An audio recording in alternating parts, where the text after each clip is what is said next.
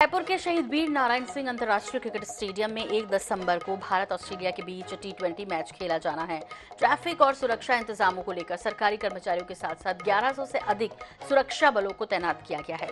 Airport से लेकर hotel तक, स्टेडियम तक के मार्ग को सात डिवीज़न में बांट दिया गया है और इसका चार्ज एसपी स्तर के अधिकारियों को सौंपा गया है।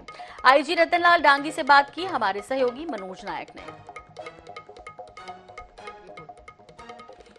खेला जाएगा और इसे लेकर तैयारियाँ जोरों पर है। वहीं बात करें दर्शकों की तो दर्शकों की खुमारी भी देखने को मिल रही है और वहीं जो है संपूर्ण सुरक्षा व्यवस्था के प्रभारी रायपुर रेंज के आईजी रतनलाल डांगी को बनाया गया है। रतनलाल डांगी जी हमारे साथ हैं सीधे उनसे ही बात करते हैं। सर अ, सारे फोर्सों का मूवमेंट होना शुरू हो चुका है। आप पूरे संपूर्ण सुरक्षा के इंचार्ज हैं।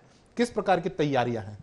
देखिए इसमें जो वनडे मैच हो रहा है टी ट्वेंटी का जिसमें ऑस्ट्रेलिया और इंडिया की जो टीम आ रही है और एक दिसंबर को हो रहा है तो उसके लिए लगभग 1100 से भी ज़्यादा सुरक्षा बल जो है तैनात किए गए हैं और उनकी कल ऑफिसर्स का एक ब्रीफिंग भी हुआ है और आज सभी जो है फोर्सेज है, अपने जो ड्यूटी स्थल है, उस पर उनको तैनात भी कर दी गई, उनको ब्रीफिंग कर दी गई और हमारे जो ऑफिसर्स हैं जो है उन्होंने अपने अपने जो जो ड्यूटी का स्थल है, उसको देख भी लिया है और कल हम एक फुल रिहर्सल भी करेंगे।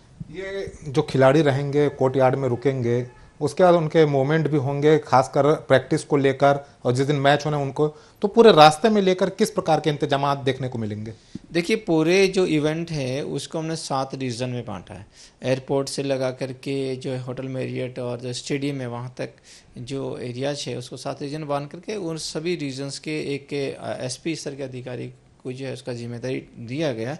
साथ ही जो खिलाड़ी आ रहे हैं उनकी सुरक्षा को ध्यान में रखते हुए जो है मेरिट होटल में भी एक एसपी स्तर के अधिकारी की तैनाती की गई साथ ही जब खिलाड़ियों का स्टेडियम की तरफ़ मूवमेंट होगा, उसके लिए भी हमने जो है उनके आगे और पीछे सुरक्षा का बंदोबस्त किए गए साथ ही कल जो है उनका प्रैक्टिस मैच होने की भी जानकारी जो है दी गई है तो उसके लिए भी आवश्यक सुरक्षा व्यवस्था इंतज़ाम कर दिए गए प्रकार की कोई समस्या ना हो, खिलाड़ियों को कोई समस्या ना हो, और उनकी सुरक्षा का भी पुख्ता इंतज़ाम जो है आईजी स्तर के दो अधिकारियों के नेतृत्व में पूरे प्रशासन ने की है। और एक दिसंबर को जब मैच होगा तो कहीं ना कहीं जो खिलाड़ियों के साथ साथ जो है दर्शक भी अपने आप को सुरक्षित महसूस कर सकेंगे।